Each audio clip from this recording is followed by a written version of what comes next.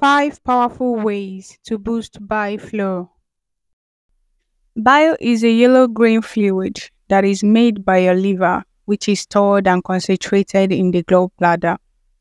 Whenever you eat a meal, your gallbladder squeezes out the bile into your small intestine to help in digestion of foods, especially fats.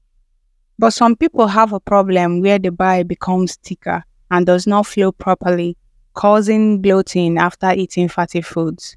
And this bile sludge can cause pressure to build up inside your gallbladder, giving you a feeling of pressure under your right rib cage.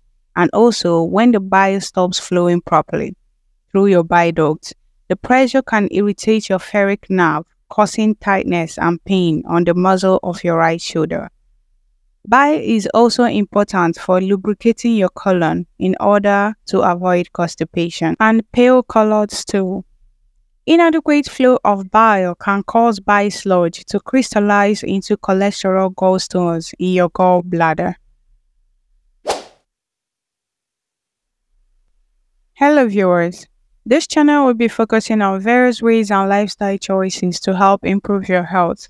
So do well to hit the subscribe button and bell notification icon button to get notified anytime we upload a video. Here are some ways you can improve the quality of your bile and boost its flow from your liver and gallbladder. Number 1. Eating omega-3 fatty acids. When your bile is too thick or gets clogged up in the bile ducts, the bile acids can start to back up into your liver, causing a buildup of toxins, irritation, and inflammation in your body. So, eating foods rich in omega 3 fats like sardines, mackerel, salmons, avocados, grass fed beans, and Brazil nuts.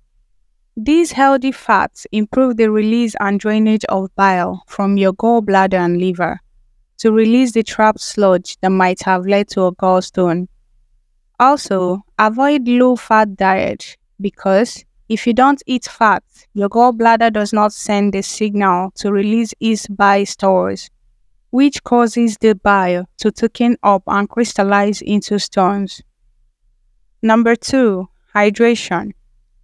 Over 90% of your bile is made up of water, and for this reason, it is very essential to stay hydrated if you want to keep your bile flowing properly to help digest your food and absorb nutrients. Not drinking enough water can cause dehydration, or too much intake of coffee, alcohol, soda drinks, which can cause the body to dump more water through your urine. So start drinking at least 1 liter of water every day. Number 3. Vitamin C, B9, and choline. These three vitamins are essential for bile metabolism. In order for your liver to make and release bile into your gallbladder, it needs certain nutrients like vitamin C, which helps your body to convert cholesterol into bile acid by activating an enzyme 7 alpha hydroxylase. You can get vitamin C by eating raw fruits and vegetables. You also need vitamin B9, folate, and choline to help your body make bile salts from cholesterol and secreted into your small intestine. You can get folate by eating dark leafy greens like broccoli, asparagus, Brussels sprouts, and you can get choline by eating grass-fed beef, liver, and pasture-raised eggs, which help your liver to produce bile salts from bile acids. Number 4. Reduce stress. Whenever you feel emotionally stressed or anxious, your adrenal glands release a hormone, cortisol. High cortisol and prolonged mental stress can weaken your liver over time, causing liver disease and lack of bile flow. So start taking steps to manage and reduce stress levels by going for walks and cutting out caffeine from your diet. Number 5. Eating bitters.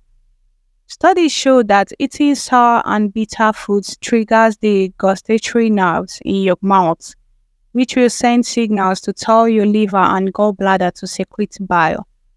Some of the best bitters to help boost your bile flow include dark leafy greens, beet tops, artichokes, gingers, pickles, turmeric, hibiscus teas, radish, garlic, mint, and apple cider vinegar.